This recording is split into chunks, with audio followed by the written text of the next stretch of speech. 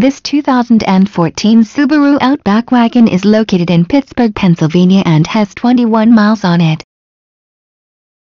This Subaru Outback has a beautiful ice silver metallic exterior paint color which is complemented by a black interior color. For more information on this great Subaru Outback please click the link below.